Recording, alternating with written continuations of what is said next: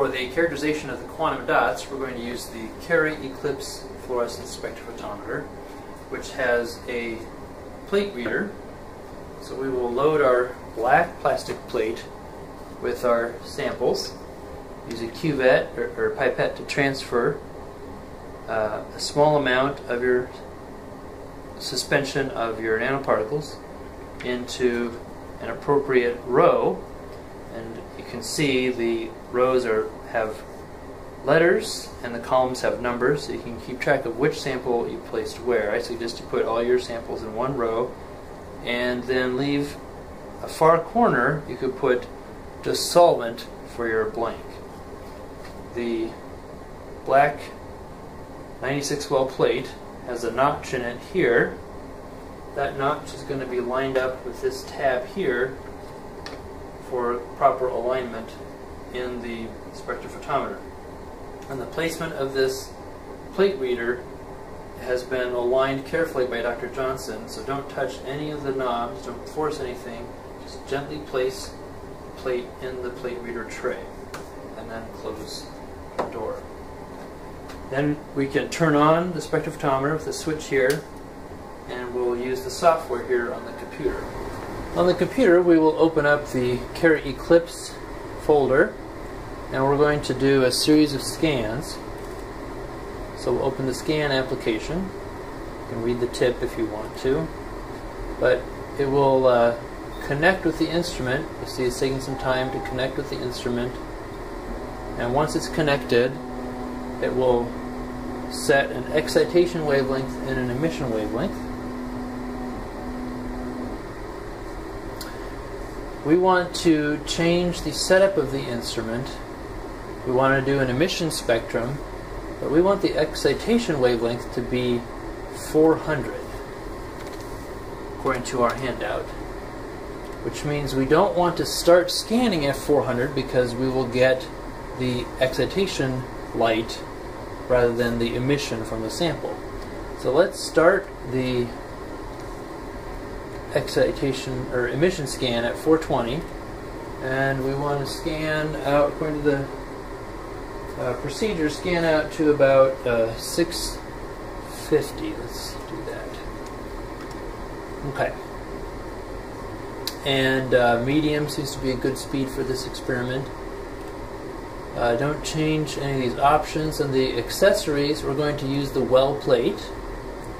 Use the reader 96 well plate and hopefully you remember where you put your samples. Maybe put them all here, H1, 2, 3,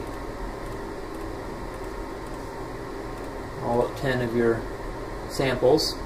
And did you put the blank here? Hopefully we can change this. Let's make that one our blank. So A12 will be our zero or background scan. Okay. So you see it's changed the excitation wavelength, the emission wavelength. These are status. We can see right away the intensity of the emission.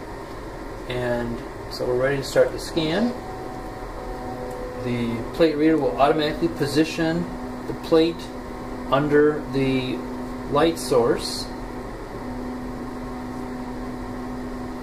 for your first sample, H1. And you could go in and program each sample well as a particular sample name. In your case, you probably don't need to do that much detail. So here you can see it's scanning uh, the different wavelengths, measuring the emission, and this is the signal it's getting from the emission. We don't actually have um, a sample in the well, so we're not getting a lot of uh, signal here, but you see it automatically went to the next sample, H2, and it'll just keep going uh, until it's scanned all of your samples. Let's look here. So there's a little bit of uh, noise, I guess. And hopefully you'll get a, a much stronger signal there. Once it's gone through all 10 samples, which uh, we're not going to sit here and watch, and stop. So we're going to stop this. You won't do this, of course. You can see that it's going to automatically stacks your graphs. So you can see each sample. Um, you could save this graph, export it as a, a, JPEG or something, but we want the data. We're going to make your own graph uh, for your report. So uh, you can save all of the data as a batch file, uh, but in order to make a report in Excel, you need to save your data as a spreadsheet ASCII star.csv, which means comma separated values. And so put your group name in here.